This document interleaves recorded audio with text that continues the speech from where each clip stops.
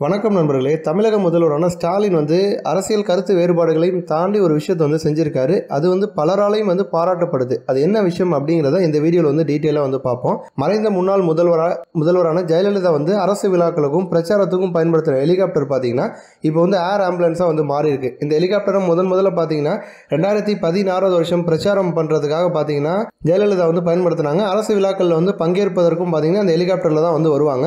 Bell நானூற்றி பன்னெண்டு EB அப்படிங்கிறது அந்த ஹெலிகாப்டருடைய பேர்.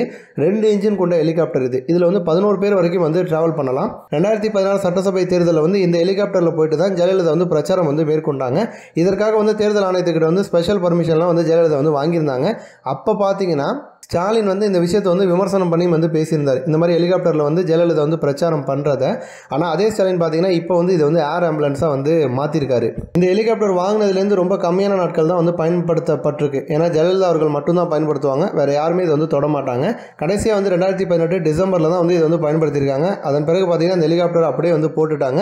சரி ரெண்டாயிரத்தி பத்தொம்போதில் வந்து இந்த ஹெலிகாப்டர் ஏலத்தில் விடலாம் அப்படின்னு சொல்லிட்டு தமிழ்நாடு அரசு என்ன பண்ணாங்கன்னா அதற்கான பொறுப்பை தூக்கி மாநில வாணிப கழகத்துக்கிட்ட வந்து ஒப்படைச்சாங்க.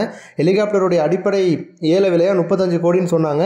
சர்வதேச அளவில் வந்து டெண்டர் வந்து விட்டாங்க. இருந்தாலுமே வந்து அப்போ கூட பார்த்தீங்கன்னா ஹெலிகாப்டரை யாருமே ஏலத்தில் எடுப்பதற்கு வந்து முன் வரல. அட்லீஸ்ட் வந்து லோக்சபா தேர்தல் வந்து நடந்த சமயத்திலாச்சும் இது வந்து ஏலம் போகும்னு எதிர்பார்த்தாங்க. அப்பையும் வந்து ஏலம் வந்து போகலை. இந்த ஹெலிகாப்டர் வந்து சென்னை விமான நிலையத்தில் தான் வந்து வச்சிருக்காங்க. இப்போ பார்த்தீங்கன்னா இந்த ஹெலிகாப்டர் வந்து ஏர் ஆம்புலன்ஸாக மாற்ற நடவடிக்கை வந்து மேற்கொள்ளப்பட்டிருக்கு.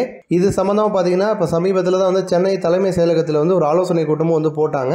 இப்போ வந்து இந்த ஹெலிகாப்டர் வந்து பராமரிக்கிறதுக்காக வந்து திரும்ப வந்து டெண்டர் விட போகிறாங்களா தமிழக அரசு. டெண்டர் விண்ணப்பங்களை வழங்குவதற்கு வந்து ஜனவரி ஆறாம் தேதி வந்து கடைசி நாள் அப்படிங்கிற மாதிரி வந்து தெரிவிச்சிருக்காங்க. அரசியல் ரீதியாக பார்த்தீங்கன்னா ஜெயலலிதா ஸ்டாலின் ரெண்டு பேருமே வந்து எதிர் எதிர் துருவங்களாக இருந்தவங்க. ஜெயலலிதா பயன்படுத்தின ஹெலிகாப்டர் அப்படிங்கிறத வந்து அப்படியே விட்டுட்டு கூட வந்து ஸ்டாலின் வந்து போகலாம். ஆனால் அரசியல் கருத்து வேறுபாடுகளையும் தாண்டி இதை வந்து ஏர் ஆம்புலன்ஸாக மாற்றி அதை பராமரிக்கிறதுக்கான வேலைகள் வந்து ஸ்டாலின் வந்து இப்போ வந்து இறங்கியிருக்காரு. இவருடைய இந்த செயல் வந்து பாராட்டப்படக்கூடிய ஒன்றா இருக்குது அப்படின்னு சொல்லிட்டு நிறைய பேர் பார்த்தீங்கன்னா ஸ்டாலினை வந்து மனம் திறந்து பாராட்டுறாங்க.